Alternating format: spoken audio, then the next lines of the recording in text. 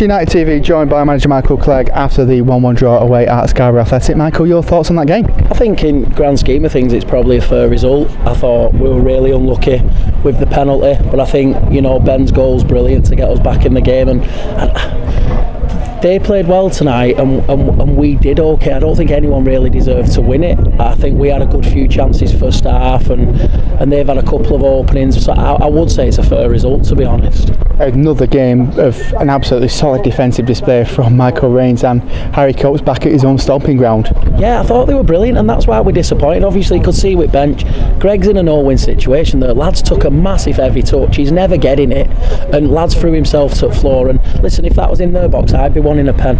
You know, I'm not blaming Scarborough, but I, I just think it's a poor decision. Um, and and yeah, it's disappointing because lads have worked hard for a clean sheet tonight again, and, and I just did, didn't think they deserved it. But what a goal to to go and um, get us a point. And I thought, you know, last 15 minutes, Theo come on, really changed the momentum of the game. And I thought, you know, fair play to Ben Hardcastle, driving team forward last 10 minutes.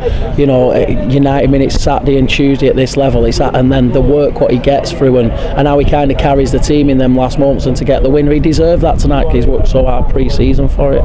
A couple of points to maybe bring it down. Um, Tom Bentham and Michael Brewster going off. What's what's the issues with the lads? Brewster, Brewster's just had um, a little hamstring problem, so we've just been trying to manage it. Um, so we'll we'll see what happens with that. Whether he'll be ready for Saturday or not, I'm not sure. Tom's nowhere near as as bad as we thought. He, he's just had a knock, and I don't know whether he fell into boards. I don't know what happened, but he's up there and he, he's fine, so he'll be right for Saturday. Um, but it, it's a tough league, Matt, as you know. You know you, have got to just you, you're constantly patching people up. At, you know there's 20 there's 20 managers in our league, and they're all the same. They'll be patching lads up again for Thursday training for Saturday, and it's just how it is. Games come thick and fast, but these lads love it, and and they'd rather be playing matches than training. So you just week after week, you're just patching them up and rolling them out. It's just how it goes, unfortunately. Looking ahead to Saturday, Mickleover again on the road. What are you expecting down in Derbyshire? A tough game. Um, the gaffer's a top lad. I, I know I know a couple of lads down there. I've done a couple of courses with them, and and they were flying when this season um, got curtailed. I think they were top actually. Um, they were doing really really well, and not many people have spoke about Mickleover, but they were one of the best sides I've seen last year.